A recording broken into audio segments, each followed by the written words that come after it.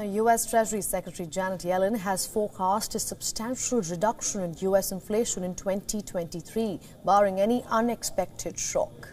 When asked about the likelihood of recession in an interview, the former Federal Reserve Chair said that there's a risk of a recession, but it certainly isn't necessarily to bring inflation down.